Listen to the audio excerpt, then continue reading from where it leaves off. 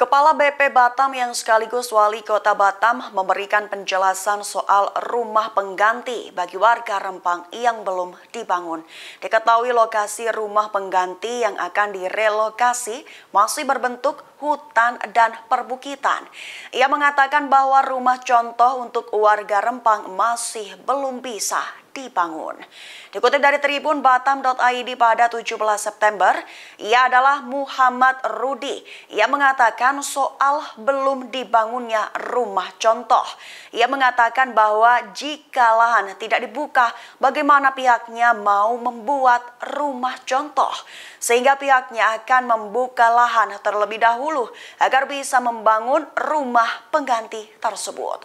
Hal itu dikatakan Rudi seusai menemui audiensi mahasiswa Batam di kantor DPRD Batam pada Jumat 15 September 2023. Diakuinya, sebelum pembukaan lahan harus dilihat terlebih dahulu anggaran pembangunan rumah berasal dari mana.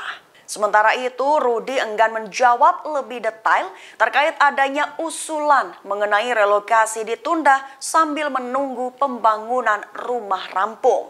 Menurutnya, investasi harus didukung lantaran pemerintah sudah menyiapkan pemenuhan kebutuhan warga Rempang yang terdampak relokasi akibat pembangunan.